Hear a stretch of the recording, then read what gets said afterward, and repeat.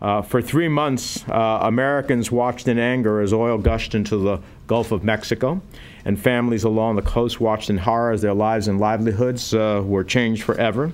It's not hard to figure out who should be responsible for compensating those who have lost so much through no fault of their own. When a company is perfectly happy to make billions of dollars taking a risky activity in public waters, then it needs to be perfectly comfortable with paying for any and all economic damages if and when something goes horribly wrong.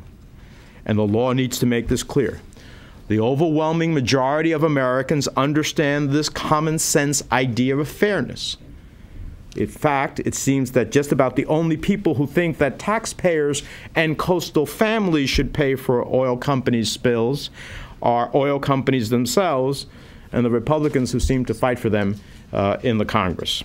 While Republicans, most of them, applaud the fact that the Supreme Court has said corporations are individuals when it comes to speech, when it comes to treating them the same way, when it comes to responsibility that each and every one of us has, if we cause a problem, they take a hike. Not only do they take a hike, they protect the oil companies. It is so outrageous. And so this is a very important time for us to show the American people whose side we're on. The minority bill, as you can see, doesn't even cover BP, doesn't even cover any current lease. This is the Big Oil Protection Act. That's what they're about. Let's face it. And this is going to be one of those moments. It's a choice between the Democratic bill that's been brought out by Senator Reid um, that has four very important steps to move us forward to address the oil spill, um, to help us move our economy to a new energy economy um, that help protect our environment through the Land and Water Conservation Fund, and a Republican bill that basically has three parts. No, it's drill, baby, drill, ignore the spill, and kill the bill.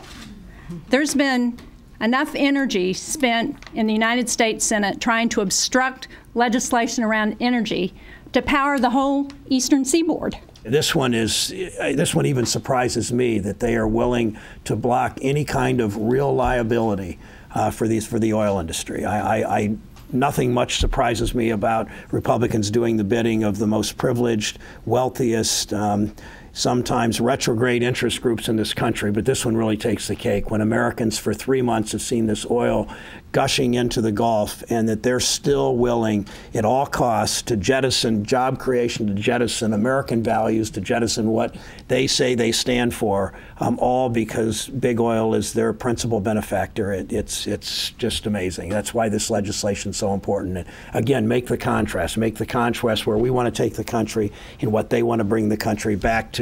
That's why this legislation is so important.